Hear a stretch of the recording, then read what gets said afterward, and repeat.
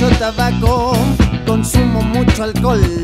Tengo muchos problemas con mi reputación porque a mí me gusta el funky blues. A mí me gusta el funky blues.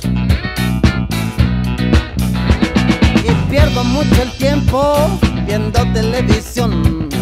No sé de dónde vengo y tampoco a dónde voy, porque a mí